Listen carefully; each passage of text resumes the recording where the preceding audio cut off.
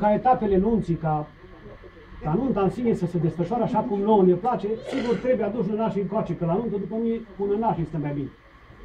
Dar înainte de a pleca vreau să vă mai rețin atenția cu ceva. Atent.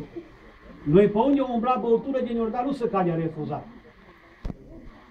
Că noi trebuie să ne purtăm foarte bine, să nu lăsăm pare pine, că ar fi păcat să sustenească și înapoi să le golească. Deci vă spun așa pe scurt, cât de ori da trebuie băut. Logica e una simplă. Cu cât o bea la e mai mult, o bea mai puțin la nu. Da.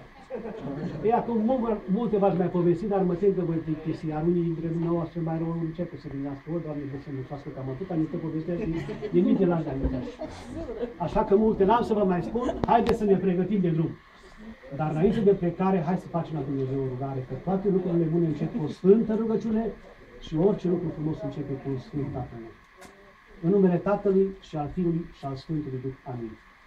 Tatăl nostru care ești în cerul, sfințească-se numele Tău, bine împărăția Ta, facă-se voia Ta pe cum în cerul, așa și pe pământ. Pâinea noastră, cea de toate zilele, dă-ne nouă astăzi și ne iartă nouă greșelile noastre, precum și noi iertăm greșelile noastre.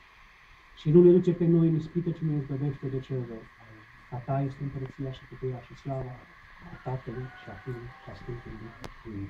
Doamne Iisuse Hristoase, Fiul Dumnezeu, binecuvintează calea pe care plecăm noi acum, că binecuvântat este numele Tău și acum și acum și în vecii vecii. Amin. Noroc bun să dea Dumnezeu, muzica mulți ani trăiască. În aplauzele dumneavoastră!